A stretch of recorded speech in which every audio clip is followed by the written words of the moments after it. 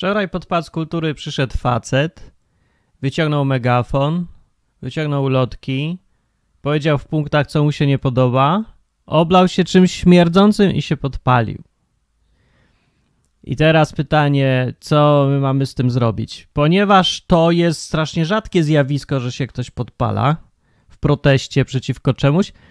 Ostatnie miało miejsce 50 lat temu około i podpalił się jakiś student po to, żeby zaprotestować przeciwko inwazji wojsk polskich na Czechosłowację w ramach bratniej pomocy zresztą. A pół roku później się w Czechosłowacji też taki jeden podpalił. I ludzie wtedy, jak się podpalił, jeden i drugi, yy, no nie dało się czegoś ukryć, nie? Zaczęli o tym gadać i ten protest był strasznie głośny, bo to jest taki akt takiej totalnej desperacji, że ktoś już nie wie, co ze sobą zrobić, nie widzi w ogóle wyjścia, nie ma gdzie uciec, nie chce z tym żyć, nikt go nie słucha, jest bezradny i ma dość. No i jak już ma dość, to przynajmniej chce, żeby inni też się trochę obudzili i nie wiem, co, żeby zachęca, żeby go naśladowali, to chyba nie, ale bardziej chce coś powiedzieć strasznie głośno i pokazać, jaki jest desperowany. No to pokazuje, że ktoś jest desperowany, nie? To nie jest taki normalny sposób protestu. To nie jest to samo, co wyjść sobie gdzieś i powiedzieć precz z pisem albo coś tego typu, nie? To trochę bardziej już komuś zależy. I myślę sobie, dlaczego mnie to tak zszokowało, że się ten facet podpalił w 2017 roku w październiku. I myślę sobie dlatego, bo właśnie żyjemy w czasach, kiedy wszyscy mają wszystko w dupie. I jak sobie widzę komentarze, jakie dzisiaj padają, Kataryna gdzieś tam napisała, że, że to jest zachowanie jak psychiatryka, a nie jakiś manifest polityczny. I widziałem komentarze, to frajer, że, że to frajerstwo, że to bez sensu, że to głupota jakaś tam. E, no i różne rady. I ogólnie to mnie nie dziwią już te komentarze, ale się zszokowało mnie, ten kontrast mnie zszokował między postawą gościa, taką jaka była, jaką mieli ludzie z 50 lat temu właśnie, że im na czymś zależy. I komentarzem dzisiejszych ludzi, który, którym na niczym nie zależy już. W dupie mają totalnie wszystko. I zszokował mnie też ten kontrast między taką głośną retoryką w Polsce, takim gadaniem, że jaka to Polska jest ważna, Polska, Polska, nie? Co drugi se robi jakąś tam kotwicę tutaj, wytatuuje sobie na ręce Polska, pamiętamy, bla, bla, bla, nie? I im mniej ktoś ma mózgu przeważnie, tym większe tatuaże sobie robi, żeby nadrobić, nie? Żeby była jakaś równowaga w rzeczywistości. No i chodzą tacy ludzie, nie? I opowiadają, jak to Polska, Polska, Polska. I teraz każda partia jak chce w ogóle być partią, żeby ją ktoś słuchał, to musi mówić co drugie słowo Polska. Nie może mówić człowiek, nie może mówić twój portfel, podatki, wolność, czy coś tam, wolność to jeszcze prędzej, a tylko, że Polska ma być wolna, a nie ty masz być wolny. I ta Polska wszędzie jest. I to wygląda tak, jakby ludziom zależało na Polsce. A potem, z drugiej strony, jak przychodzi co do czego jest prawdziwe życie, każdy ma w dupie, totalnie.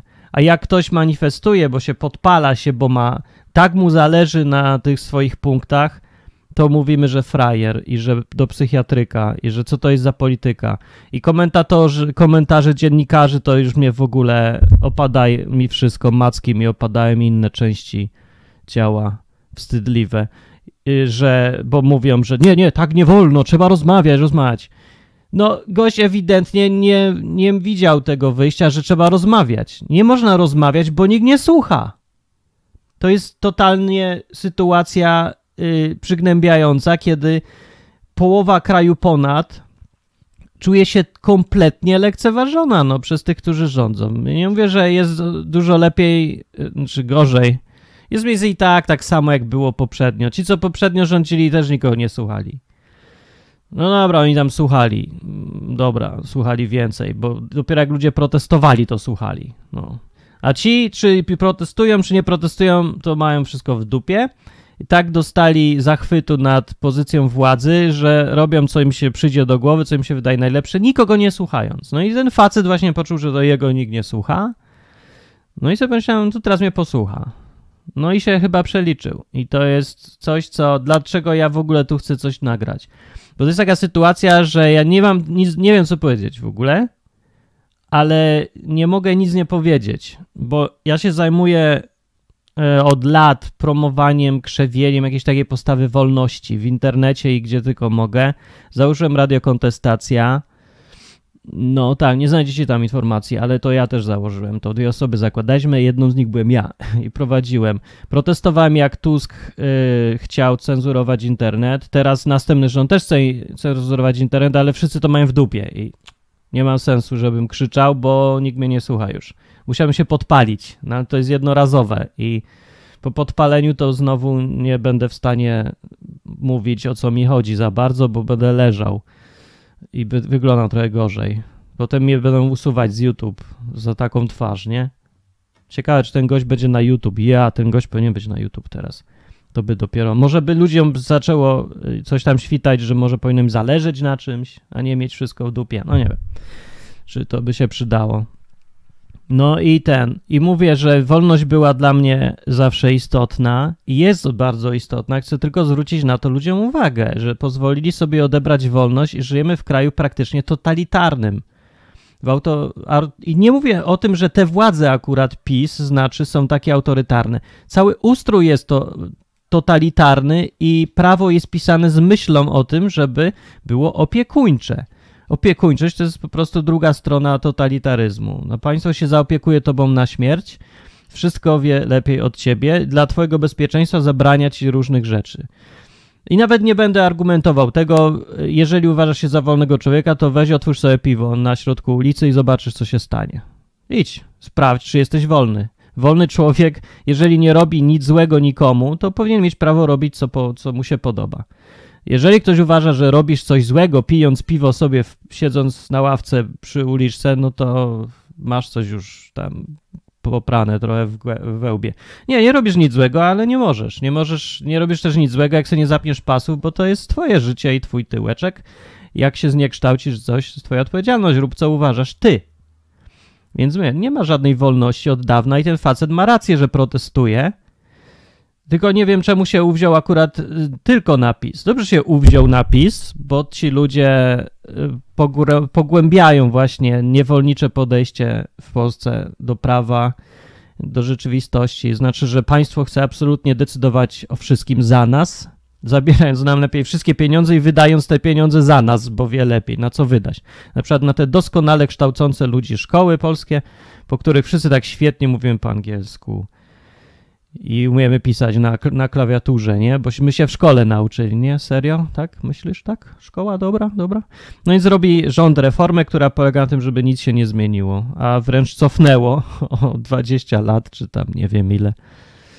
No, więc to podejście mają różne rządy, a nie tylko ten PiS. I że temu gościowi zależy, to ja rozumiem. I ten gość faktycznie udowodnił i teraz i pokazał, że mu na wolności zależy tak jak on ją rozumie, ale mu zależy na koncepcji, żeby mu dać jednak święty spokój.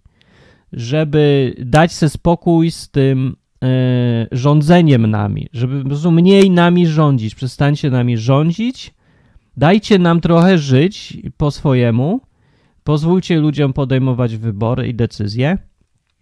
No, e, to się nie będziemy musieli podpalać z desperacji.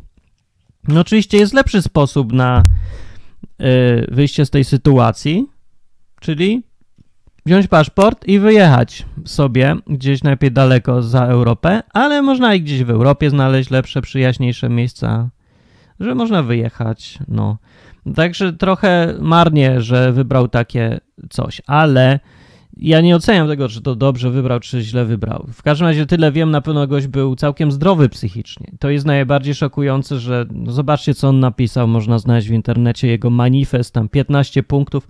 One są sensowne, one są spójne. On mówi, protestuje przeciwko łamaniu wolności obywatelskich, przeciwko bezsensownie szybkiej, nieprzemyślanej reformie edukacji, różnych tak rzeczy. No większość punktów to ja tak samo się zgadzam, ja też protestuję. No tylko łagodnie, no i może tchórzliwie według jego standardów, bo mi na tym nie zależy, aż tak.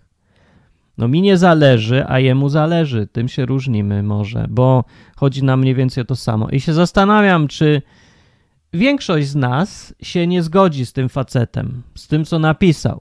No niekoniecznie zrobić chcą to, co on, bo szkoda życia, nie? ogólnie szkoda. No wiesz, w życiu jest co wypić, jest co zjeść, dużo przyjaciół. Że nie mówiąc o tym, że świat jest olbrzymi, a Polska jest taka malutka. W porównaniu z tym, co jest na świecie, ile możliwości innych krajów i innych sposobów myślenia. Także wziąć i wyjechać. Albo zrobić ten wynalazek polski, który kiedyś, nie wiem, że to jest polski, ale w Polsce był powszechny. Wynalazek, który w PRL-u był, czyli to się nazywa emigracja wewnętrzna. Czyli, że tak naprawdę mentalnie to ty jesteś gdzie indziej już i uciekasz do jakichś swoich zajęć, zainteresowań, pasji czy czegoś, tylko twój tyłek zostaje ciągle na terytorium Rzeczpospolitej, ale mentalnie to cię tu nie ma. To tak nie obchodzi cię. Wyemigrowałeś wewnętrznie, znaczy no jest jakaś opcja i możesz zająć się pasjo, pasjonować graniem w szachy albo graniem w Counter-Strike'a przez 12 godzin na dobę. No i to jest jakiś sposób wyjazdu i emigracji, no czekając aż coś bez ciebie się zmieni, nie? No gość uważał, że bez niego się raczej nie zmieni. No i zobaczymy. Ale najważniejsze w tej całej sprawie jest to, że yy, żeby sobie uświadomić chociaż jedną rzecz, że ludzie, którzy się podpalają, to nie są wariaci. To są ludzie, którzy są odważniejsi niż my i którym zależy na czymś naprawdę, serio. To jest jedyny gość, który, co do którego nie można mieć wątpliwości, że mu zależy na Polsce, jakkolwiek on ją rozumie, na życiu w tej rzeczywistości tutaj. E, I może gość jest po prostu dobry w przewidywaniach, co będzie dalej, jeżeli tą drogą pójdzie ten kraj. A właśnie to tylko ci, co nimi rządzą. E, I może, może po prostu e, jest trzeźwiej myślący, bo zdaje sobie sprawę z tego, co będzie. Nie? E, że, że mówi, dzisiaj jeszcze jest dobrze, no to jest super, pijmy, jedzmy. Gość już wychodzi tam myślami 10 lat do przodu i widzi sobie rzeczywistość za 10 lat i mówi, to jest masakra. I jeżeli dzisiaj się tego nie zatrzyma, to za 10 lat będzie ta moja wizja. Może do, dostał objawienie właśnie, co będzie za 10 lat i zobaczył taką tragedię, że stwierdzi, że dzisiaj muszę zrobić co w mojej mocy, żeby zaprotestować, żeby zawrócić ludzi z tego zamordyzmu, do którego idą, z tego PRL-u BIS, który sobie budują tu i, i zszokować jakoś ludzi i pokazać, że ja mam dość, ja wysiadam. No, także straszna sprawa, w ogóle nie wiem jak skomentować. Ale y, jeżeli uda się chociaż temu facetowi zrobić to, że, że przestaniecie mieć wszystko w dupie, ludzie YouTube'a, face, dzieci Facebooka, jak chociaż zrozumiecie przynajmniej, że jeżeli komuś zależy, to nie jest wariat. To jest po prostu ktoś, komu zależy, ktoś, kto chce naprawdę żyć, a nie żyć w takiej wegetacji, że żreć, pić i koniec. I oglądać coś i grać w grę. To nie jest życie, to jest jakieś półżycie, to jest takie życie na poziomie emo emocjonalno-mentalnym y, psa że no właśnie o to mu chodzi. Nażreć się tylko i poskakać i spać i tak w kółko. Znaleźć sobie jakąś mam suczkę, prawda, tego. Mieć dobrego pana i koniec. No jeżeli nie chcesz być psem, albo nie no, co zresztą, co, co mnie to obchodzi, no to no, tą na tym wolność polega, o którą mi chodzi, żebyś się decydował, czy chcesz być psem, czy człowiekiem, czy kim tam chcesz żyć, jak robak, co mnie to, wisi mi to. No, ale żebyś wybór miał, na tym nie wisi mi, żeby był ten wybór jak żyć. Ale dostałeś właśnie przykład kogoś, kto zwyczajnie nie chce żyć jak pies i chce mieć rzeczy, na których mu zależy. To jest coś yy, takiego wielkiego, nie? I w świecie, który jest tak mały jak dzisiaj, jaki małostkowy, takie pierdoły są same. Takie, że nie wiem, jaka aktorka co na, se na dupę włożyła.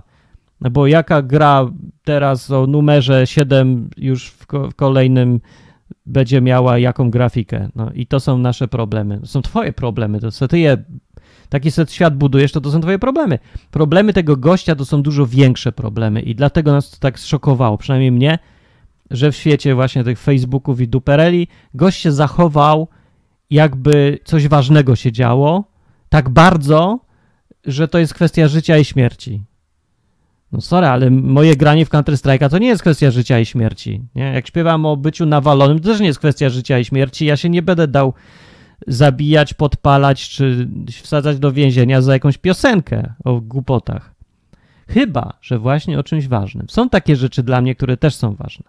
No może dlatego tak jakoś nie, nie za bardzo pasuje do świata YouTube'owego, bo mam rzeczy, na których mi serio zależy, nie? Ja mam do nich dystans, mogę się z nich wszystkich śmiać, ale zależeć to mi zależy. No, nie są, I to nie są małe rzeczy, wiem, że są rzeczy małe i są rzeczy duże. Ten facet też. No, więc myślę, że y, taka jedna rzecz jest, żeby się wziąć, zastanowić, y, jeżeli masz taki, taki odruch, że jak można być takim głupim, bo w jedzeniu przecież najważniejsze jest, w życiu najważniejsze jest, żeby zjeść żeby przeżyć, żeby było ciepło i wygodnie.